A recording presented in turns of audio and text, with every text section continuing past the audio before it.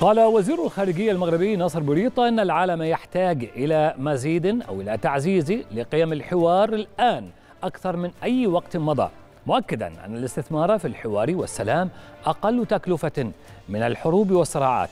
وخلال ختام منتدى تحالف الحضارات التابع للأمم المتحدة الذي أقيم بمدينة فاس المغربية أوضح بوريطة أن إعلان فاس الختامي تضمن تعزيزا لقيم تبادل الثقافات والقضاء على العنصرية وسيشكل منعطفا مهما في الأجندة الدولية خلال الأعوام المقبلة.